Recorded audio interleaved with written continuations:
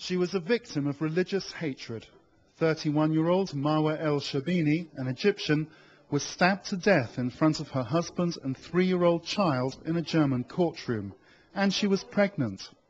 Her attacker, a 28-year-old German of Russian descent, had argued with her because she was wearing a headscarf, a symbol of her Islamic faith. He'd even called her a terrorist. In France, Muslims gathered at the weekend to express their condolences and their anger at what is seen as a rising tide of antipathy towards them. Depuis le 11 septembre, Since the 9-11 attacks, there has been a very significant increase of both Islamophobic words and actions in France. One would say there are more sentiments expressed against Islam and Muslims by certain politicians and intellectuals. Even suspicion against them stigmatized as a group plotting against France. The French media has given very little coverage to this case.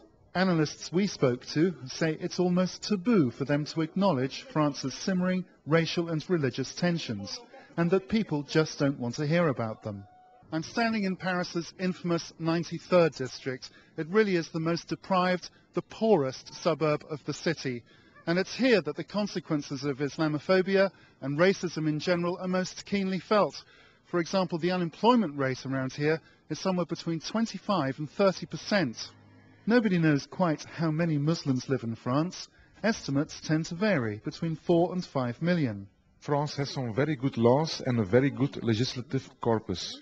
But it also needs a real and substantive political will to abolish all kinds of discrimination based on geography, ethnicity and religion.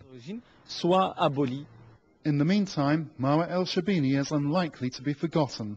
She's already being referred to in some quarters as an unofficial martyr. Mark Vautier, Press TV, Paris.